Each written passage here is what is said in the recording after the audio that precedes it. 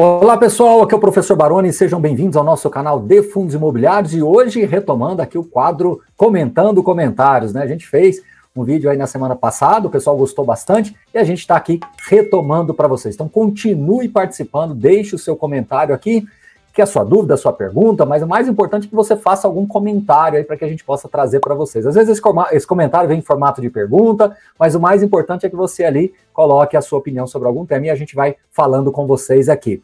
Quero lembrar também, curso Fundos Imobiliários FIS 56 off, o cupom aí de desconto para vocês acessarem, além de outras informações disponíveis aqui na descrição do vídeo. Vamos lá, o nosso comentando comentários. Derson Senna comenta: Para mim, a grande dúvida que surge com a alta dos fundos imobiliários, para quem não quer um número exagerado de ativos na carteira, é comprar cotas acima do seu preço médio dos ativos que possuem carteira ou buscar novos ativos na baixa, aumentando assim o seu número de ativos, né, de fundos. Entendi bem a questão aí, realmente é, é um ponto que você deve ter sempre em dúvida, né? Eu tenho uma carteira de fundos imobiliários, será que eu compro mais, mesmo estando acima do meu preço médio, ou eu busco uma outra oportunidade? Tudo vai depender de realmente qual é a quantidade alvo aí que você deseja para a sua carteira de fundos imobiliários. Porque se você sempre quiser buscar algum outro fundo que, se você coloca como uma, uma, uma diretriz que você não compra acima do seu preço médio, vai chegar uma hora que a sua carteira vai ter dezenas, centenas de fundos imobiliários. Você sempre vai estar buscando algum outro ativo que não esteja alinhado ao seu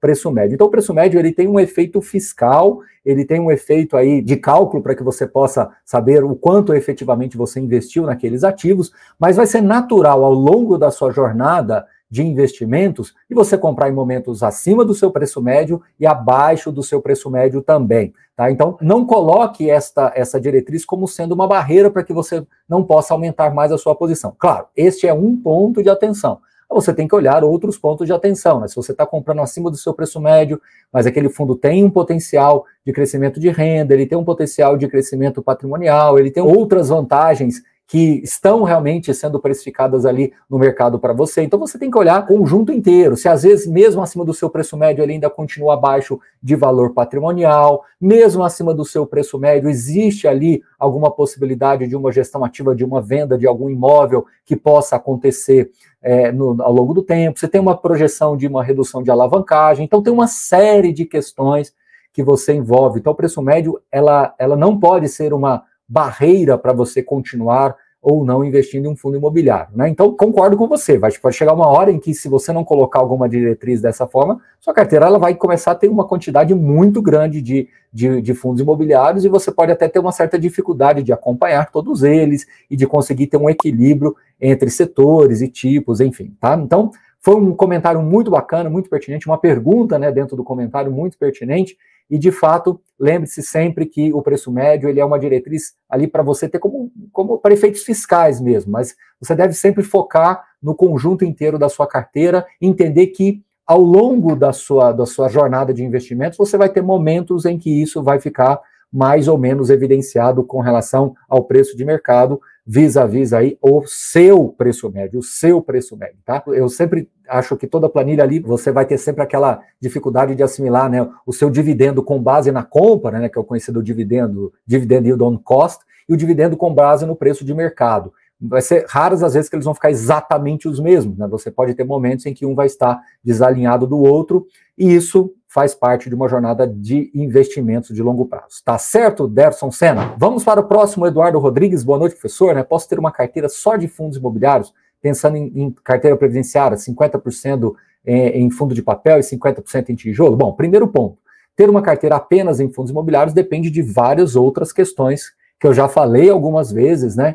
Que alcança muito o seu nível de conhecimento, o nível de profundidade que você tem em outras classes de investimentos. Existem várias outras formas de você investir previdenciariamente. Fundos imobiliários não é a única.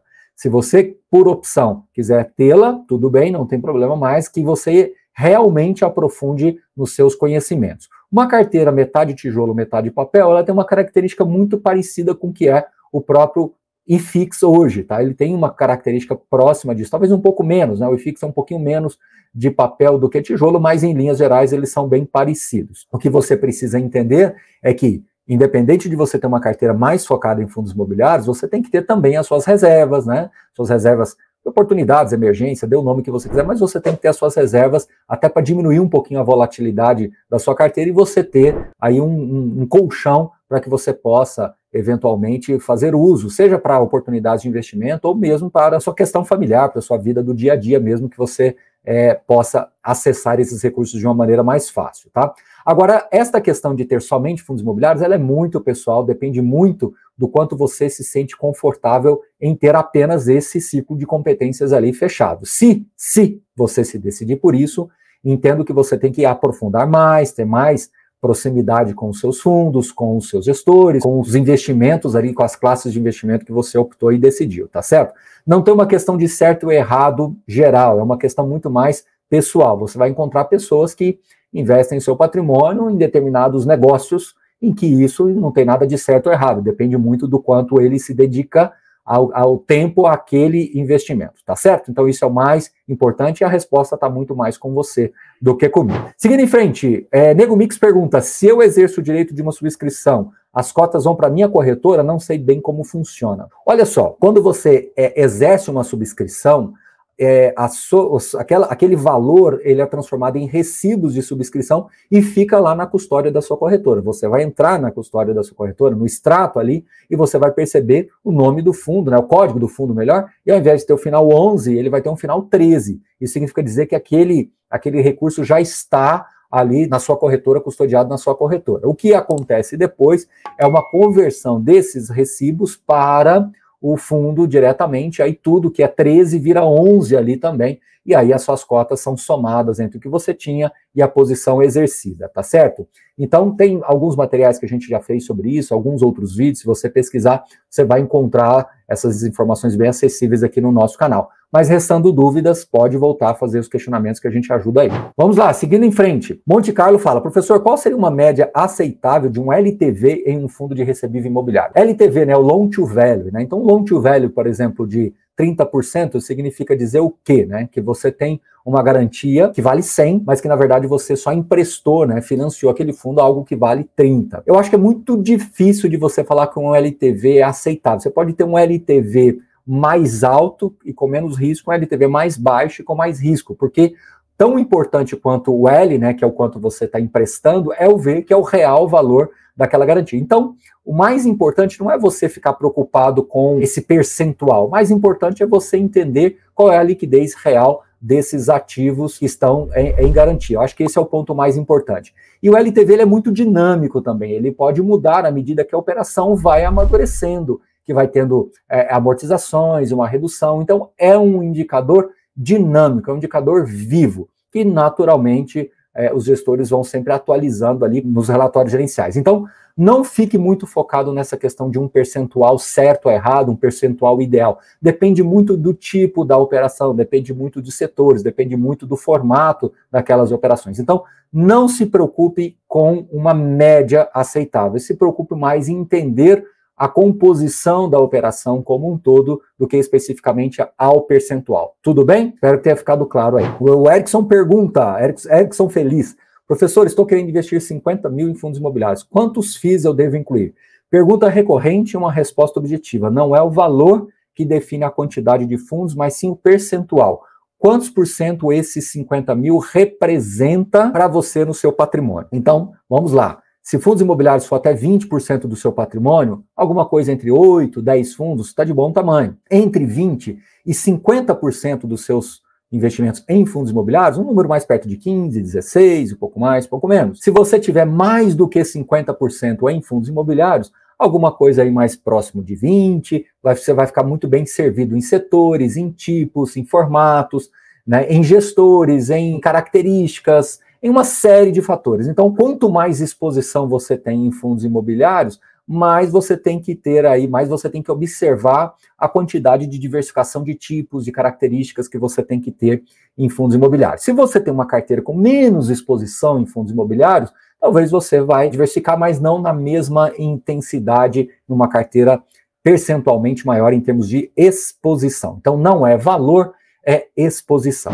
O Pedro falou o seguinte: faltou explicar que o rendimento dos recibos não é o rendimento normal de uma cota. De fato, não é, e você tem razão, Pedro. Se não me engano, é algo relacionado ao NTNB, CDI, Poderia falar sobre isso? Na verdade, o que, que acontece? Tá? Quando você exerce, eu acho que é um E ali, não é D, né? E, NTNB, E, CDI, ou ou CDI, né? Então, Pedro, o que, que, que você precisa entender aí, e, e, isso é importante de você ter colocado? Quando você tem uma emissão, e essa, essa emissão ela vai para um recibo, né?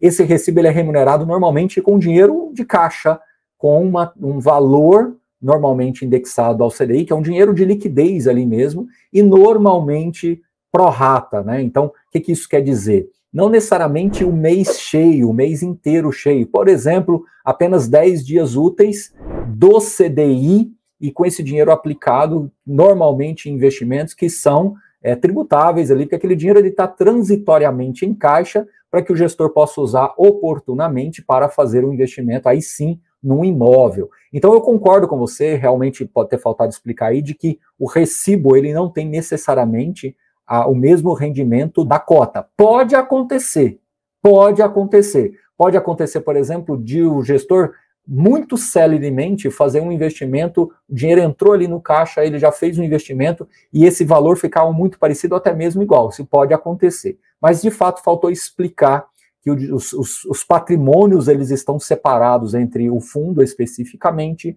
e o recibo. Então, de fato, tem essa distinção aí, tá bom? O Anderson pergunta: achar fundos base 100 com bons fundamentos é difícil, quanto mais base 10. Ah, Anderson, não é tanto assim, né? Na verdade, vamos primeiro. É, eu acho que você vai ter bons fundos base 100 e fundos não tão bons base 100. Você vai ter bons fundos base 10 e não tão bons base 10. Fundos base 1000 e não tão bons base 1000. Então, o que eu quero dizer é que, assim, o mais importante é que em algum momento, tá? E eu acho isso que vai acontecer nos fundos imobiliários, é que a gente vai ter fração da fração, né? Isso já acontece em outros mercados, eu acho que no Brasil a gente pode caminhar para isso. Então você vai ter um fundo, você vai ter 52,47 cotas de um fundo. Isso quer dizer que é uma fração de uma fração. Então acho que essa questão de base 100, base 10, base 1000 é uma coisa que está ficando no tempo, né? Antigamente era base 1000, há 10 anos atrás, depois ficou-se base 100, mais popularizado base 100, e agora base 10. E a gente acredita que em algum momento nós vamos ter fração da fração. Então o fundamento ele não vai estar tá ancorado na base do fundo, o fundamento vai estar tá ancorado realmente na estratégia, na tese de investimentos de cada fundo. Então essa questão de, de base ela é muito mais para dar acesso às pessoas, né? De fato, quando você compra um fundo base 10, você tem mais acesso, é mais democrático o acesso ao investimento, né? Mas, de novo, tá? Eu acho que em algum momento, e, e isso pode acontecer, é, da gente ter uma fração da fração, e aí sim esse, esse assunto ficar no passado definitivamente. Alexandre, quase todo mundo fala isso é errado, né? Até o Baroni. Conversão dos recibos em cotas é diferente de integralização. Ficaria até mais tranquilo quando eu errar daqui para frente, sabendo que o mestre me erra. Alexandre, concordo com você. Realmente, às vezes a gente fala, mas é uma questão, assim, mais pela praticidade, né? A conversão do recibo em cota, como o próprio nome diz, é quando aqueles números 13, 14, 15, eles se transformam definitivamente em 11. Às vezes a gente usa esse termo integralizando, né? É mais integrando, né, do que integralizando. A integralização é quando você tem efetivamente um algo que vem para dentro do fundo, né? É, você tem um ativo que vem para dentro do fundo. Essa é a integralização efetivamente. Então, quando um imóvel ele passa a ser integralizado ao fundo, é que ele efetivamente passou para dentro do patrimônio do fundo. E a gente fala essa, essa conversão de integralização, acho que mais pelo sentido prático, mas eu concordo com você que a gente usa às vezes esse termo equivocadamente. Então tá aí o seu comentário e você tem razão, Alexandre. O Tiago Souza. Absurda essa resposta do Baroni para a primeira pergunta. Não existe outra opção senão pagar a dívida. Investir com dívida é se enganar. Essas continhas de taxa, etc., é tudo bullshit. O Thiago está se referindo a um vídeo que eu gravei na semana passada, aquelas cinco perguntas, né? Cinco respostas tal. Que a, a pergunta era sobre a pessoa tem, quer investir 300 mil reais, mas ela tem uma dívida, né, num apartamento lá de 300 mil, quer saber se paga a dívida ou não. Tiago, eu concordo com você. Vou, tá, vou, realmente é, não é matemática a resposta. A resposta ela é, ela é uma decisão muito mais familiar, ela é muito mais pessoal, de conforto pessoal, de tranquilidade da vida da pessoa, da família da pessoa, no bem-estar desta pessoa. Não é matemática. Embora nós tenhamos aí caminhos matemáticos para ajudar a resposta, né? Mas ela efetivamente vem muito mais do campo da pessoa, efetivamente, da decisão familiar, do que qualquer outra coisa. A pessoa tem 300 mil reais na mão, ela paga a, o apartamento lá que ela comprou financiado, ou ela investe e com o dinheiro paga a parcela. Dá para você encontrar uma solução matemática? Dá para encontrar. Mas eu concordo com você. A solução matemática, ela é, como você falou aí, bullshit, né? Não adianta ficar fazendo só a continha, porque nesse tipo de decisão, vale muito mais o aspecto familiar, o aspecto psicológico, o aspecto comportamental do que a matemática pura e simples, né? A matemática ela vai resolver muito pouco do problema aí da pessoa. Às vezes não é só essa decisão. Então concordo com você, Thiago. Estou aqui dando braço a torcer, né, como diz o, o, o ditado popular, que realmente não é a matemática, não são as continhas que vão resolver. Tá certo, Thiago? Então Estamos combinados aí, você tem razão com relação a isso. O Fabiano já vem com uma coisa até mais criativa aqui, né? Paga o apartamento, fica sem dívida, depois vende o apartamento, compra um mais barato, investe o restante e faz aportes mensais no valor da prestação que iria pagar. Tá vendo? Então, o Fabiano puxou um pouquinho mais para matemática, a pessoa, né, a família continua morando em algum apartamento próprio, mas talvez num padrão inferior, mas para que você possa sobrar algum dinheiro para você investir ainda. Então, Tiago, como o Fabiano colocou aqui, existem várias alternativas, tá? Que passam pela matemática, sim, mas no final das contas eu acho que é muito mais uma decisão familiar, uma decisão pessoal. Quer ver outra questão que vai muito da, do, do, do, da, da, carreira, do momento da carreira de vida daquela pessoa?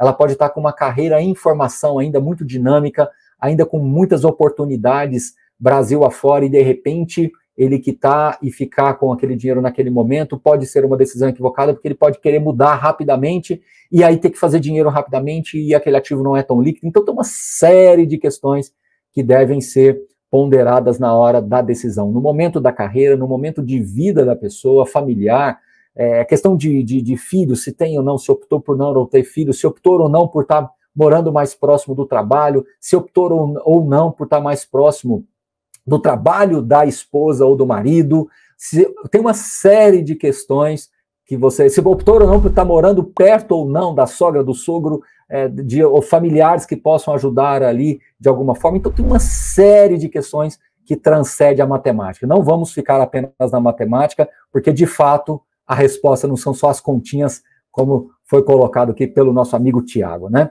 E nem pelo próprio Fabiano aí que fez essas, essa, essa engenharia aí para achar uma solução também plausível, tá certo? Bom, o vídeo acabou ficando um pouquinho mais longo aqui, mas eu tenho certeza que a gente teve bastante conhecimento compartilhado aqui com vocês. Espero que vocês tenham gostado. Mais uma vez eu lembro, fiz 56 off, um cupom de desconto para o curso de fundos imobiliários. Espero que vocês tenham gostado do vídeo e de novo, continuem deixando o comentário de vocês logo aqui abaixo, que é muito importante para que todos compartilhem conhecimento, tá bom? Até a próxima, valeu!